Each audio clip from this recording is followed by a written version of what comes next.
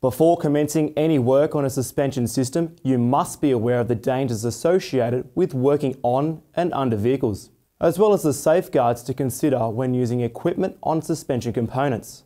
Remember, many of these components may be under considerable load and could be supporting the vehicle's weight. Customers have come to expect that the suspension system on their modern vehicle has been designed to cater for best handling, ride comfort and load carrying. But is this always achievable or even possible? G'day, I'm Zach. Welcome to AutoMate. When we consider the suspension system on a modern vehicle, it must be designed to accommodate a number of factors that ensure safe and reliable operation under all conditions.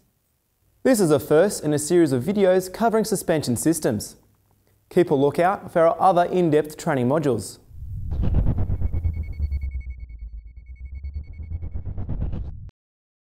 The suspension system on a vehicle needs to support the vehicle's weight and any load applied while at the same time maintaining ride height.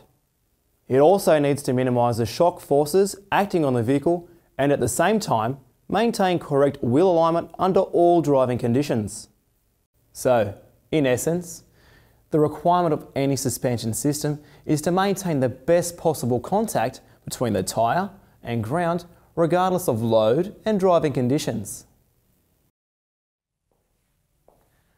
To watch the full video or any of our automotive training modules, just visit our website to find out how you can become an AutoMate member today.